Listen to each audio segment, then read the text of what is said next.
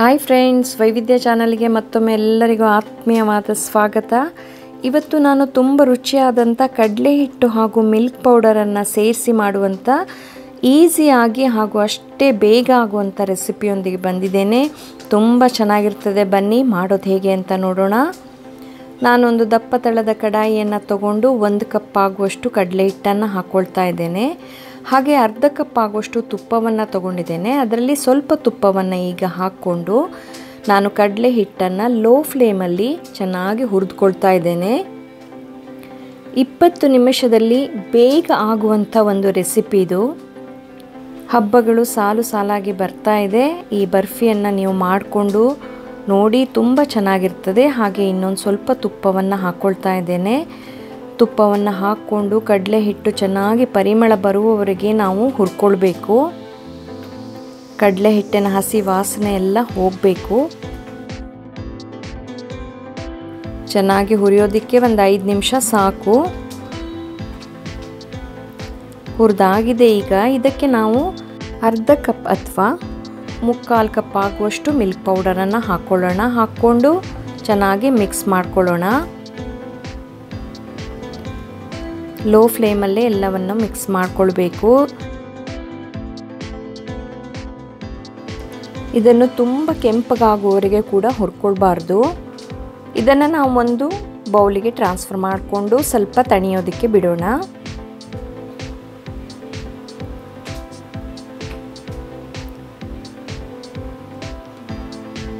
ಹಾಗೆ ನಾವು ಒಂದು ಬೌಲಿಗೆ ಸ್ವಲ್ಪ ತುಪ್ಪವನ್ನು ಹಾಕ್ಕೊಂಡು ಗ್ರೀಸ್ ಮಾಡಿಟ್ಕೊಳ್ಳೋಣ. ಹೀಗೆ ರೆಡಿ ಮಾಡಿಟ್ಕೊಳ್ಳೋದ್ರಿಂದ ನಮಗೆ ಬರ್ಫಿಯ ಮಿಶ್ರಣವನ್ನು ತಕ್ಷಣ ಹಾಕೋದಕ್ಕೆ ಅನುಕೂಲ ಆಗ್ತದೆ.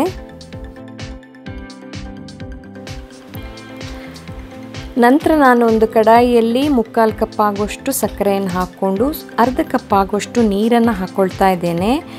ನೀರಿನಲ್ಲಿ ಸಕ್ಕರೆ ಚೆನ್ನಾಗಿ ಕರಗಿ ಒಂದೆಳೆ ಪಾಕ ಬರುವಷ್ಟು ನಾವು ಕುದಿಸ್ಕೊಳ್ಬೇಕು. ಈಗ ಇದು ಚೆನ್ನಾಗಿ ಕುದಿ ಬಂದಿದೆ, ನೋಡೋಣ.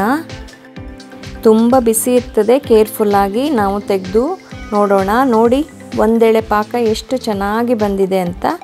ಇಷ್ಟು ಪಾಕ ಬಂದ ಮೇಲೆ ನಾವು ಗ್ಯಾಸನ್ನು ಆಫ್ ಮಾಡಿಕೊಂಡು ಮೊದಲೇ ಮಾಡಿಟ್ಕೊಂಡಂತಹ ಮಿಶ್ರಣವನ್ನು ಇದಕ್ಕೆ ಸೇರಿಸಿ ಚೆನ್ನಾಗಿ ಮಿಕ್ಸ್ ಮಾಡಿಕೊಳ್ಬೇಕು. ಇದಕ್ಕೆ ಏಲಕ್ಕಿ ಪೌಡರನ್ನು ಸ್ವಲ್ಪ ಹಾಕ್ಕೊಳ್ಳೋಣ. ಎಲ್ಲವನ್ನು ಚೆನ್ನಾಗಿ ಗಂಟುಗಳು ಇಲ್ಲದ ಹಾಗೆ ಮಿಕ್ಸ್ ಮಾಡ್ಕೊಳ್ಬೇಕು ಲೋ ಫ್ಲೇಮಲ್ಲಿ ನನ್ನ ಚಾನಲಿನಲ್ಲಿ ಬರುವಂಥ ರೆಸಿಪಿಗಳು ಇಷ್ಟ ಆದರೆ ಲೈಕ್ ಮಾಡಿ ಶೇರ್ ಮಾಡಿ ಹಾಗೂ ಸಬ್ಸ್ಕ್ರೈಬ್ ಮಾಡೋದನ್ನು ಮರಿಬೇಡಿ. ಮಧ್ಯೆ ಮತ್ತೆ ಸ್ವಲ್ಪ ತುಪ್ಪವನ್ನು ಹಾಕ್ಕೊಳ್ತೇನೆ ಅರ್ಧ ಕಪ್ ತುಪ್ಪದಲ್ಲಿ ನಾವು ಇದನ್ನು ತುಂಬ ಚೆನ್ನಾಗಿ ಮಾಡ್ಕೊಳ್ಬೋದು. ಬೇಕಿದ್ದರೆ ನೀವು ಕಾಲು ಕಪ್ ತುಪ್ಪ ಹಾಗೂ ಕಾಲು ಕಪ್ ಎಣ್ಣೆಯನ್ನು ಕೂಡ ಹಾಕ್ಕೊಳ್ಬೋದು ಆದರೆ ತುಪ್ಪದಲ್ಲಿ ಮಾಡಿದರೆ ಸ್ವೀಟು ತುಂಬ ಚೆನ್ನಾಗಿರ್ತದೆ.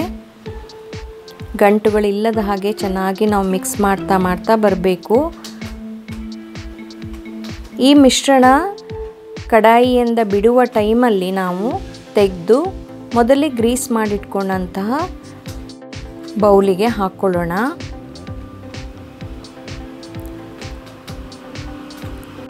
ಮೇಲ್ಗಡೆಯಿಂದ ಡ್ರೈ ಫ್ರೂಟ್ಸನ್ನು ಹಾಕ್ಕೊಳ್ಬೇಕು. ನಿಮಗೆ ಯಾವ ಡ್ರೈ ಫ್ರೂಟ್ಸ್ ಇಷ್ಟ ಇದೆಯೋ ಅದನ್ನು ಹಾಕ್ಕೊಂಡು ರೆಡಿ ಮಾಡ್ಕೊಳ್ಬೋದು. ನಾನು ಇಲ್ಲಿ ಬಾದಾಮು ಮತ್ತು ಪಿಸ್ತಾವನ್ನು ಸಣ್ಣದಾಗಿ ಕಟ್ ಮಾಡಿ ಇಟ್ಕೊಂಡಿದ್ದನ್ನು ಹಾಕಿ ಪ್ರೆಸ್ ಮಾಡ್ತಾ ಇದ್ದೇನೆ. ಸ್ವಲ್ಪ ಬಿಸಿಯಾಗಿರುವಾಗಲೇ ನಿಮಗೆ ಬೇಕಾದ ಆಕಾರಕ್ಕೆ ಇದನ್ನು ಕಟ್ ಮಾಡ್ಕೊಳ್ಬೋದು ಈಗ ಬರ್ಫಿ ರೆಡಿ ಟು ಸರ್ವ್ ಇದೇ ರೀತಿ ಒಳ್ಳೊಳ್ಳೆ ರೆಸಿಪಿಯೊಂದಿಗೆ ಇನ್ನೊಮ್ಮೆ ಸಿಗೋಣ. ಈ ರೆಸಿಪಿ ಹೇಗಿದೆ ಅಂತ ಕಮೆಂಟ್ ಮಾಡಿ ತಿಳಿಸಿ. Thank you.